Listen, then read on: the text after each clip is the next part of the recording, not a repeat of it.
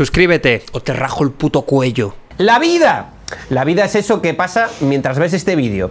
La vida es eso que pasa mientras piensas, ¿por qué no se calla este puto turco? Tengo hambre. ¿Qué hora es? Me apetece pelármela. Tengo sueño. Me aburro. La vida es eso que pasa mientras te quejas. La vida es esa cosa que a nadie le gusta, pero a la que nadie está dispuesto a renunciar. Es como compartir baño. A todos nos da asco, pero tampoco tienes otra opción. La vida es una cárcel de la que no puedes salir, pero si te dejasen irte, tampoco te querrías ir a otro sitio, porque vivir es tan guay que si os fijáis, ninguno se baja del barco hasta que le echan. Salvo los suicidas, el resto de la gente se queja, pero no se va. La vida es una mierda. Sí, pero ahí estás con tu cubata agarrado a la barra hasta que enciende las luces, hijo de puta. Los de la vida es una mierda sois los mismos que le ponéis mala nota a un restaurante en TripAdvisor, pero seguís yendo. Sois como los que se quejan de vivir con sus padres, pero no se mudan. Y eso es porque por muy mal que estés, existir sigue compensando más que no existir. De hecho, no existir tiene que ser tan mierda que todos preferimos vivir a morir. Pensad cómo de asqueroso tiene que ser no existir como para que Alonso Caparrós decida quedarse. Y eso es porque vivir, en el fondo, no está tan mal. Ni es el mejor sitio del mundo, ni tampoco es el peor. La vida es un 5. La vida es un hotel cutre en Roquetas de Mar. Eso es exactamente la vida. Un hotel en el que lleva todo el fin de nublado y en la habitación de al lado se escucha un bebé llorando, pero hay bufe libre y se escucha el sonido del mar. Bueno, podría ser peor. Además, estéticamente, la vida está bastante guay. No hay un videojuego que tenga mejores gráficos que la vida. Esto es así. Por muy guay que esté el Elden Ring, la vida tiene mejor definición. Y no hay tiempos de carga. Y sí, en el Final Fantasy puedes invocar criaturas y hacer hechizos, pero no existe la sensación de salir a la calle en abril que de repente haya gente en las terrazas y atardezca más tarde. Eso está de puta madre. Y por muy guay que esté el GTA, en el GTA no existe la sensación de acordarte de pronto de que es festivo al día siguiente.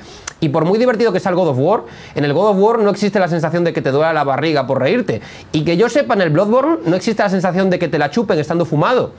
Y sí, es cierto, la vida no es perfecta. Claro que hay bugs, como el apéndice o Echenique.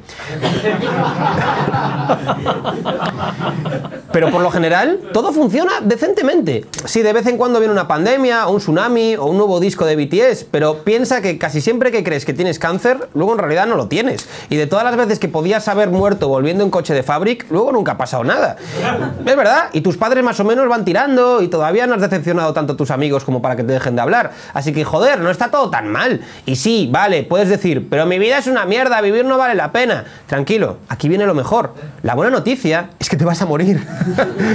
no te preocupes, porque esto se acaba. Muy pronto vas a tener todo el tiempo del mundo para no estar aquí. Pronto estarás fuera de la vida para siempre. Me da igual si estás viendo esto y tienes 20, 50, 80 años. Tarde o temprano dejarás de respirar. O sea, no soy médico, pero creo que al final te mueres. Estoy casi seguro. De hecho, cuando te mueras, te vas a pasar más tiempo no existiendo del que estuviste existiendo. De hecho, lo extraordinario es que estés ahora mismo viendo este vídeo. Lo normal sería que ya estuvieses muerto o que directamente no hubieses existido nunca.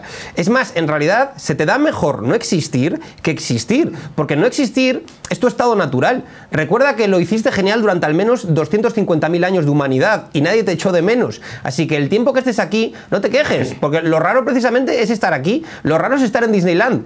Así que ya que dentro de nada te van a echar te pases todo el rato diciendo que todo es una mierda y que prefieres la Warner.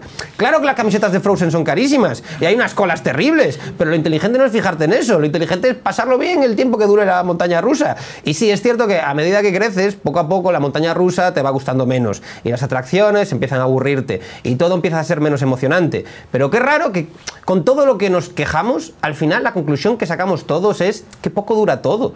De pronto echas de menos a ese bebé llorando en roquetas de mar y las colas de Disneyland y los barros de la cárcel, porque la vida es tan rara que con el tiempo acabas echando de menos incluso lo malo. Por ejemplo, yo estoy contento de haber vivido cosas que odio, yo estoy contento de haber vivido sensaciones que no me gusta vivir, como el miedo a la muerte, el sentirse perdido, la tristeza por la pérdida o la culpa por tus actos, porque también forman parte de ese viaje aterrador e increíble que es vivir, porque sin todas esas cosas, vivir sería una película aburridísima en la que no pasa absolutamente nada. Sin momentos difíciles, la vida sería Morbius. Claro. Y es cierto, esta, esta es una visión infantil e ingenua. Claro que es fácil pensar solo en lo positivo y negar el lado negativo de la vida, pero más ingenuo es pensar que algo de esto tiene sentido, que tus pataleos son relevantes y que algunas de tus quejas le importan a alguien. Así que ya que nadie tiene ni idea de hacia dónde estamos yendo, al menos pásatelo bien en el camino, porque que te guste la vida es fácil, pero odiarla es más fácil aún.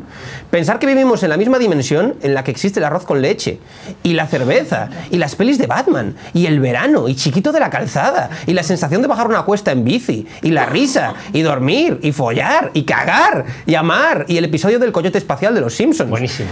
Y tus padres, claro que sí. Y tus hijos, y poder ver el, ver el vídeo de Rajoy diciendo ETA es una gran nación todas las veces que quieras. Además, siempre estaré a favor de la vida porque de momento es el único sitio del que no me han echado, así que ¡viva vivir! ¡Viva vivir!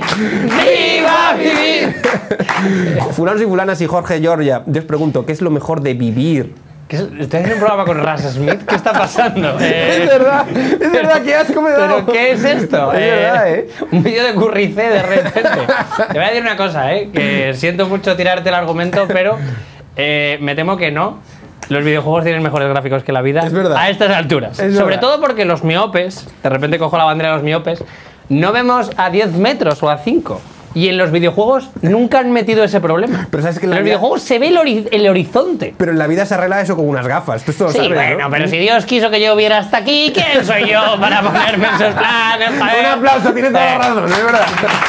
Es verdad, o sea, Dios te habría puesto VR en, las- en- en los ojos si hubiese querido. Claro, Pero, pero no quiso, así que allá vamos. ¿Qué dice el chat por ahí? Eh, el chat está diciendo. Lo mejor de la vida es la mamada fumado. ¡Bravo! Eh, ¿cuán- ¡Bravo! cuán- ¡Bravo! Que se han quedado con eso. ¡Mamá, has fumado! ¡Mamá, has fumado! ¡Mamá, fumado! Las pajas con los pies, ojo. Claro, es que también.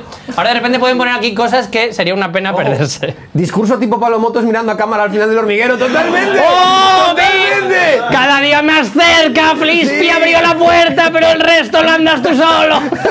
Y voy a estar actuando en Castellón el 14 de mayo, en Madrid el 21 de mayo, en Bilbao el 22 de mayo, en Málaga el 2 de junio, en Valladolid el 3 de junio, en Vitoria el 11 de junio, en Gijón el 3 de julio, en Granada el 14 de octubre, en Londres el 17 de noviembre, en Zaragoza el 25 de noviembre y quedan pocas entradas y las tienes en mis stories destacados. ¡Hostia puta, qué susto! Joder. Y en davidsuarezoficial.com. Suscríbete o te rajo el puto cuello.